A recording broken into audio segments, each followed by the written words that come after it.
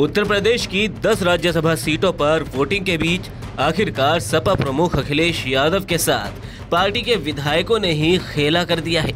सपा के तीन विधायक वोटिंग करने बीजेपी नेताओं के साथ मंत्रिमंडल पहुँचे, जिसमें राकेश पांडे, अभय सिंह और राकेश प्रताप सिंह है। तीनों ही सपा विधायकों ने अपनी अंतरात्मा की आवाज़ पर वोट करने की बात कही है। और साथ ही सपा विधायक मनोज पांडे ने भी वोटिंग से पहले मुख्य सचेतक पद से इस्तीफा दे दिया और बीजेपी के पक्ष में वोट कर दिया। इस तरह सपा विधायकों ने ही राज्यसभा चुनाव में अखिलेश यादव के समीकरण को बिगाड़ दिया है। विधानमंडल दल के मुख्य सचेतक पद से हमने इस्तीफा देकर जारी भी कर दिया। देखिए जिस समय जो हमें बोलना था नेताओं के बारे में कहा जाता तो हमने उस समय बोल दिया था। मनोज पांडे ने अपना इस्तीफा सोशल मीडिया के ज़रिए शेयर किया है, जिसके बाद सपा विधायक ने योगी सरकार के मंत्री दयाशंकर सिंह की गाड़ी में बैठकर विधानसभा पहुँचे और उन्होंने अपना वोट डाला। इस दौरान उन्होंने अपने इस्तीफे पर पहली प्रतिक्रिया भी दी। मनोज कुमार पांडे ने कहा, समाजवादी पार्टी विधानमंडल दल के मुख्य सचेतक के पद से हमने इस्तीफा दे दिया है। जबकि विधायक मनोज कुमार पांडे ने अपने इस्तीफे वाली चिट्ठी में कहा कि कि अवगत कराना है।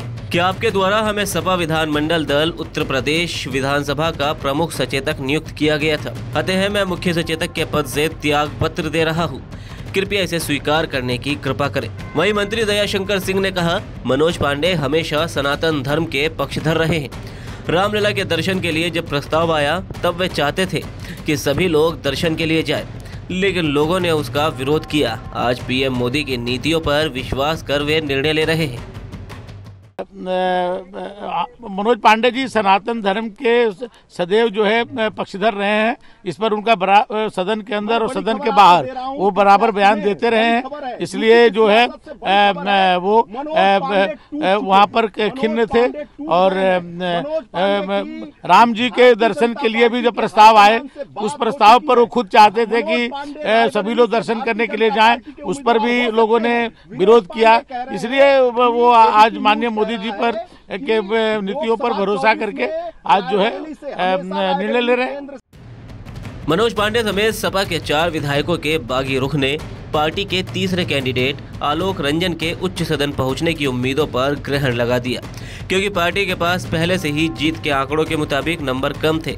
सपा के राज्यसभा चुनाव में जया बच्चन, रामजीलाल सुमन और आलोक रंजन चुनावी मैदान में है।